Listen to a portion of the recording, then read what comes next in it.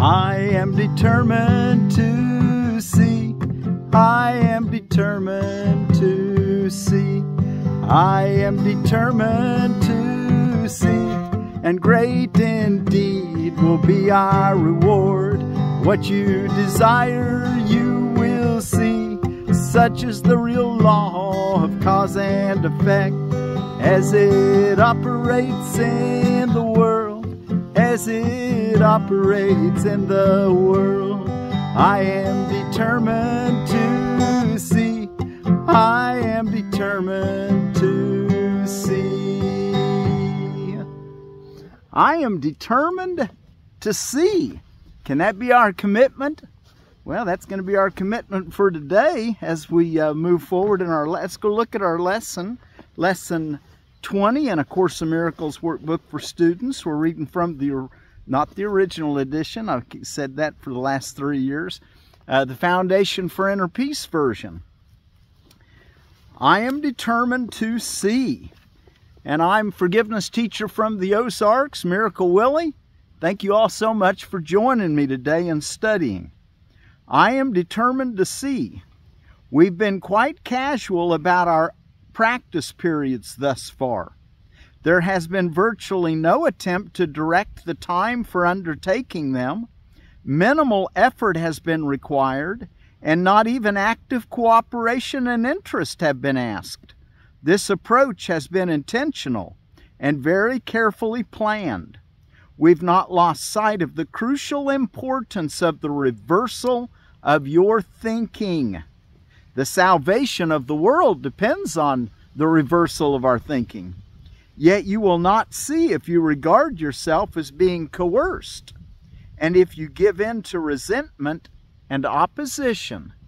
So he's, and then he goes on in our next paragraph, he's going to say this is our first attempt to introduce structure. And he's going to want us to try to bring this to our memory through the day every half hour. We're going to we're, we're to say, I'm determined to see. And that'll be our practice period for the day. So just little moments. You don't have to stop doing anything. Just say to yourself, I'm determined to see. And if you're practiced for sitting down quietly and meditating morning and evening, I'd encourage you to continue doing that. But he's not requiring that at this point. We'll look at the lesson a little closer, but let's go back and look in chapter 3, the innocent perception. Miracles as True Perception, Section 2. I've stated that the basic concepts referred to in this course are not matters of degree. Certain fundamental concepts cannot be understood in terms of opposites. It is impossible to conceive of light and darkness or everything and nothing as joint possibilities. They are all true or all false. It is essential that you realize your thinking will be erratic until a firm commitment to one or the other is made. A firm commitment to darkness or nothing, however, is impossible. No one has ever lived who has not experienced some light or something. He's referring to all of us are um, uh, our, our, our, our identity, our, our birth, our, our beingness at all is from God. So we all have to have a little bit of light and a little bit of the of reality of something. No one has ever lived who has not experienced some light and something. No one, therefore, is able to deny truth totally, even if he thinks he can. Paragraph 2. Innocence is not a partial attribute. It is not real until it is total. The partly innocent are apt to be quite foolish at times. It is not until their innocence becomes a viewpoint with universal application that it becomes wisdom. Catch that. It is not until their innocence that they see innocence in everything. Not in, it is not until their innocence becomes a viewpoint with universal application that it becomes wisdom. Innocent or true perception means that you never misperceive and always see truly. More simply, it means that you never see what does not exist and always see what does. And that's where he's leading us to, to be perfect even as our Father in heaven is perfect. We can learn to follow the inner guidance of the Holy Spirit and see see the, the innocence in everything and not, not see miscreations or misperceive, as he calls it here. Paragraph 3. When you lack confidence in what someone will do, you are attesting to your belief that he is not in his right mind. Catch that. When you lack confidence in what someone will do, you are attesting to the belief that he is not in his right mind. You're seeing him through your eyes of the ego and you're seeing his ego. Instead, we want to see the, the, the reality that can't make any mistakes. So, again, when you lack confidence in what someone will do, you are attesting to your belief that he is not in his right mind. This is hardly a miracle based frame of reference. It also has the disastrous effect of denying the power of the miracle. The miracle perceives everything as it is. If nothing but the truth exists, right minded seeing cannot see anything but perfection. I have said that only what God creates or what you create with the same will has any real existence. This then is all the innocent can see. They do not suffer from distorted perception. Paragraph 4. You are afraid of God's will because you have used your own mind, which He created in the likeness of His own, to miscreate. The mind can miscreate only when it believes it is not free. And and listen how how how it's not free. Who who's in who who's taken it um, prisoner? Think about that. The mind can miscreate only when it believes it is not free. An imprisoned mind is not free because it is possessed. possessed or held back by itself. The very beliefs that it had free will to accept, it used them to imprison itself because it accepted erroneous beliefs and now it's bound by what it accepted. Nothing can, uh, let's see, where are we at here? You are afraid of God's will because you have used your own mind, which He created in the likeness of His own, to miscreate. The mind can miscreate only when it believes it is not free. An imprisoned mind is not free because it is possessed or held back by itself. And the word imprisoned is in quotes because really it's not in prison, it's just in our dreams. But those dreams play out in this world and seem to be real, knock on wood. An imprisoned mind is not free because it is possessed or held back by itself. It is therefore limited, and the will is not free to assert itself. To be one is to be of one mind or one or will. To be one is to be of one mind or will. When the will of the sonship and the Father are one, their perfect accord is heaven. Father, thy will be done on earth as it is in heaven. Well, let's follow God's will because that's our own will. It's what really makes this happen. When you wish to do something and you're sure that it doesn't go against um, the way that God thinks, remember he said there'll be no fear?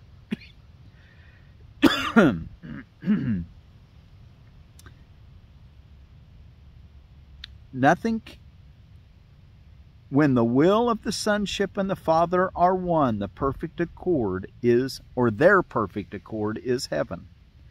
5. Nothing can prevail against the Son of God who commends his Spirit into the hands of his Father. Can we do that? Nothing can prevail against a Son of God who commends his Spirit into the hands of his Father. And I think about Jesus dying on the cross. He commended his spirit into the hands of the Father and he rose from the dead. He proved that resurrection is our reality when we commend our spirits into the hands of our, our source, our creator, our Father. Or our mother, if you want to think of it that way. That's fine. By doing this, the mind awakens from its sleep and remembers its Creator.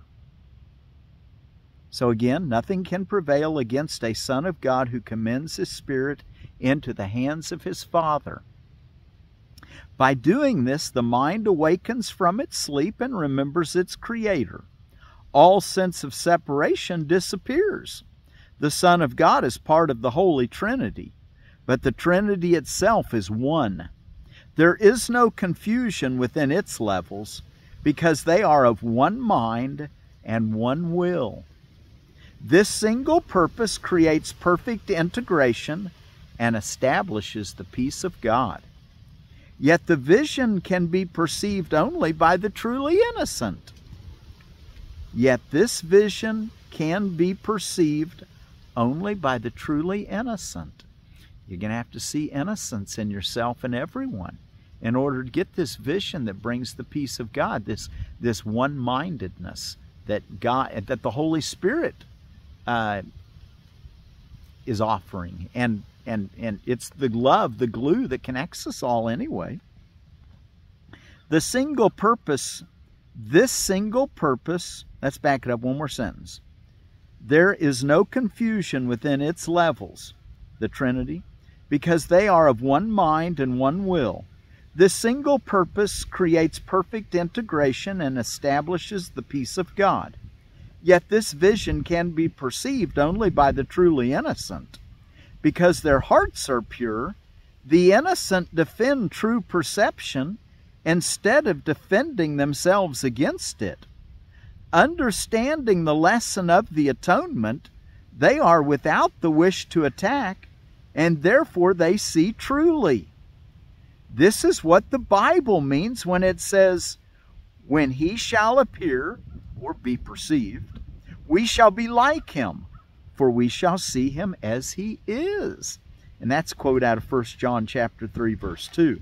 So again on that, understanding the lesson of the atonement or the interlocking chain of forgiveness, understanding the lesson of the atonement, they are without the wish to attack. And therefore they see truly. This is what the Bible means when it says, When he shall appear or be perceived, we shall be like him, for we shall see him as he is. In the last paragraph for this section 6, the way to correct distortions is to withdraw your faith in them and invest it only in what is true. That makes sense, doesn't it? The way to correct distortions is to withdraw your faith in the distortions and invest it invest your faith only in what is true. You cannot make untruth true. If you are willing to accept what is true in everything you perceive, you let it be true for you. Truth overcomes all error, and those who live in error and emptiness can never find lasting solace, lasting peace. If you perceive truly, you are canceling out misperceptions in yourself and in others simultaneously. If you perceive truly, you are canceling out misperceptions in yourself and in others simultaneously. Because you see them as they are, you offer them your acceptance of their truth so they can accept it for themselves. You might see their, their, their perfection before they see it in this world. This is the healing that the miracle induces. Wow, what a beautiful reading. Okay, now before we read our uh, lesson, I am determined to see, but we're supposed to be saying that, you know, a couple times an hour, he says. Try for every half hour, he said. We haven't read that yet, but I'm giving you a little heads up. Okay, holy days uh, on uh, holy holidays, holy days, uh, and observances around the world holidays, holidays and observances, I found it's Bald Eagle Appreciation Day, which we talked about bald eagles recently.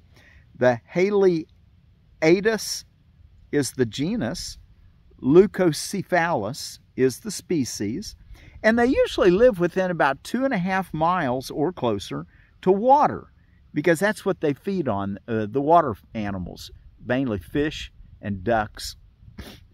Uh, and they make nests. They make nests in trees and on cliffs, or in uh, you know usually within that close distance to water. Uh, camcorder day. Well, we kind of kind of dated now. It's usually our cell phone day now, huh? uh, inauguration day. Well, this year in 2024, it'll we won't have an inauguration day this year, but next year we sure will who's going to be president of the United States. Uh, International Day of Acceptance.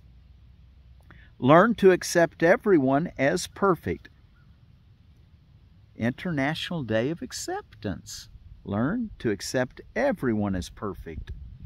Uh, when you lack confidence in what someone will do, you're attesting to the belief that he is not in his right mind. So that, that we just read that in uh, that was a in uh, sentence one of paragraph three. So, so International Day of Acceptance. Learn to accept everyone as perfect. Well, that'd be a, a wonderful thing to do. No, no, we learned yesterday there's no evil, so you might as well take it another step and just see them all as beautiful and perfect. uh, National Bill Cosby Sweater Day, and that's loud, colorful sweaters he used to wear on his show back in the 80s.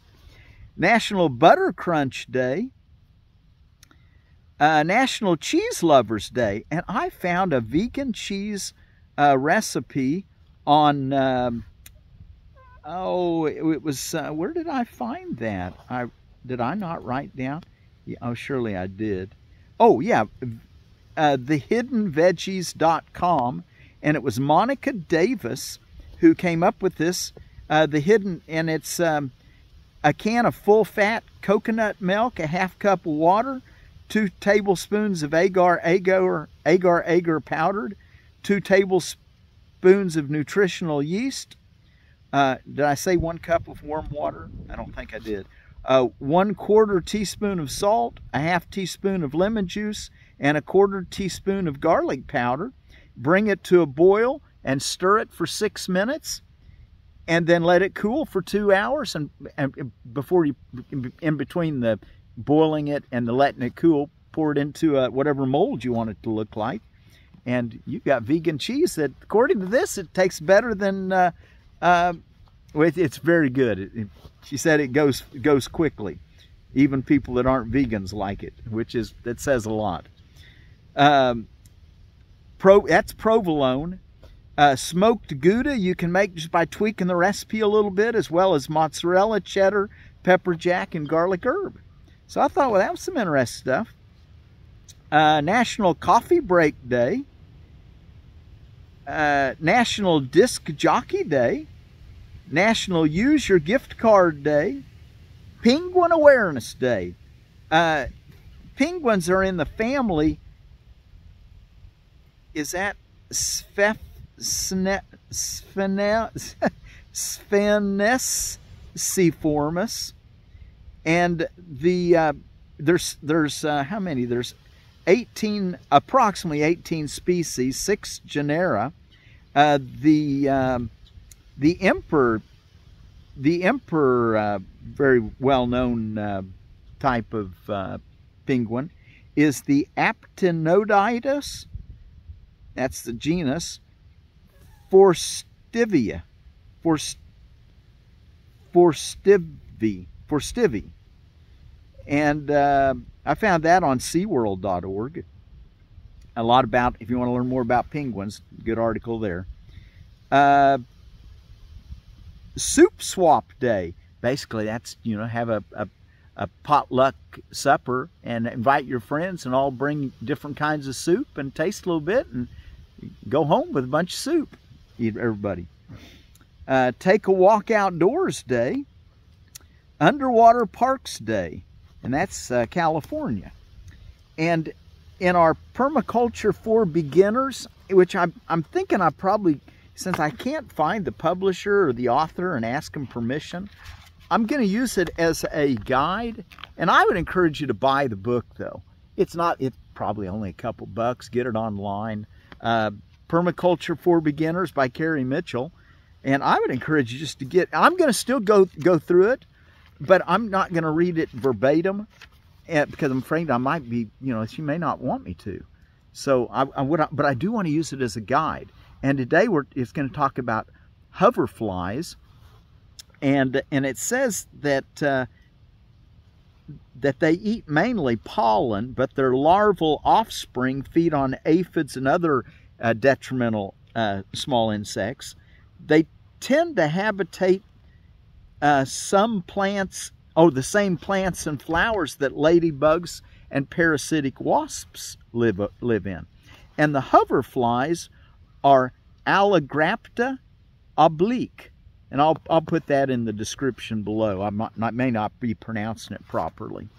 And then in our uh, edible landscaping, which I'd also encourage you to get one of their books. Uh, they're, that you know, order something from them or, or, or call them and tell them you want a book uh, or email them. Because we are going to go through this whole book this year. Uh, and we're ready for John's elderberry.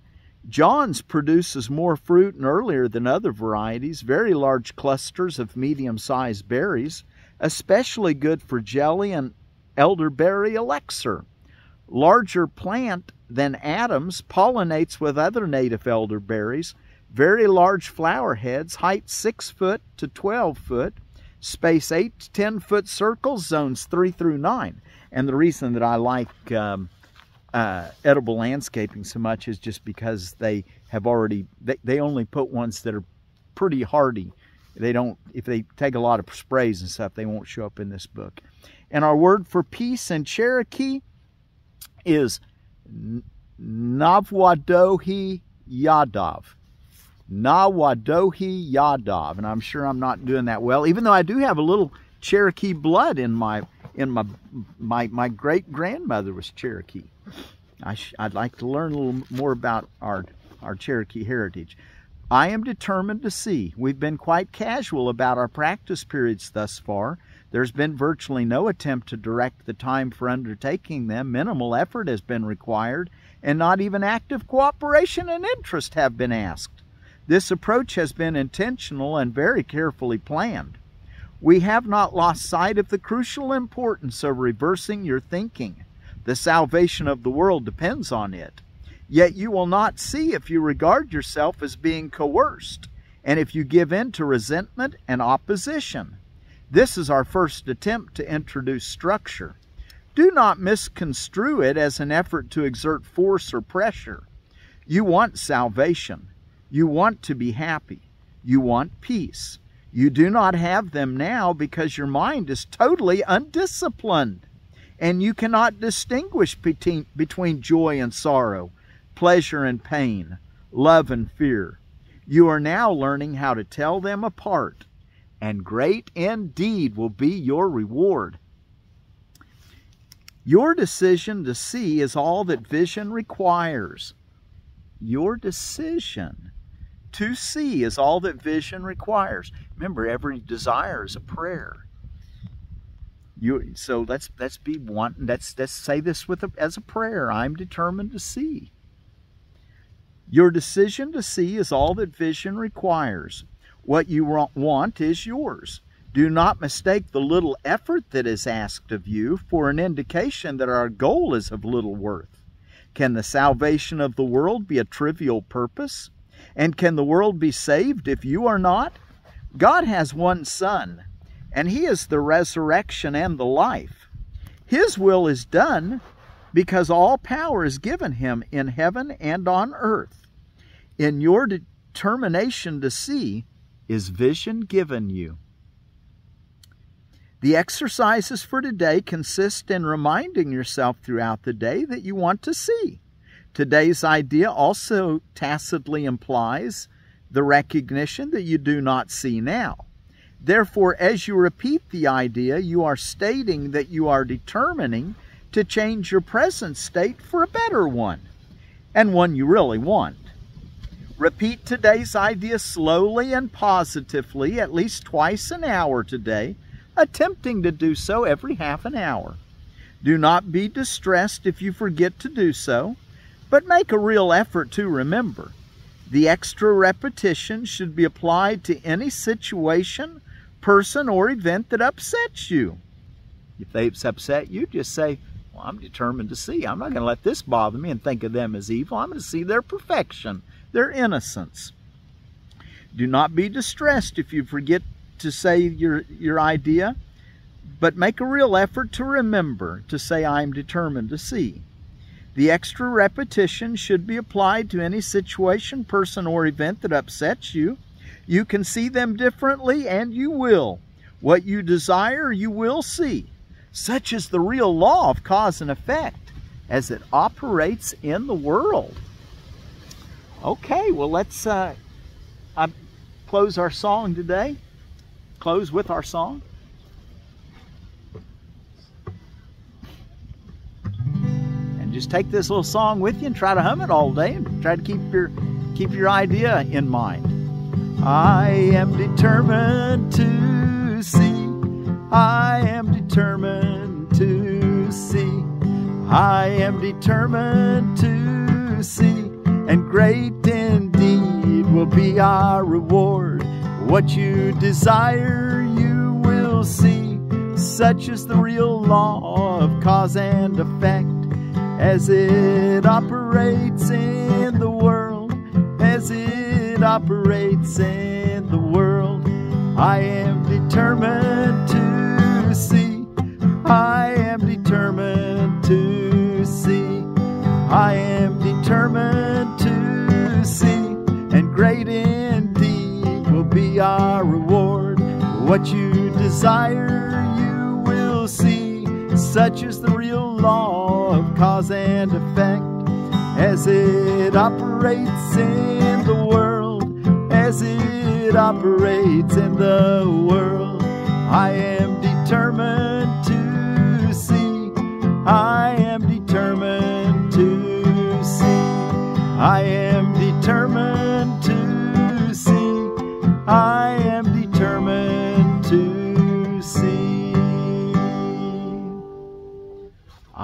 am determined to see. And our Cherokee word for peace, Navwadohi Yadav. I am determined to see. Navwadohi Yadav.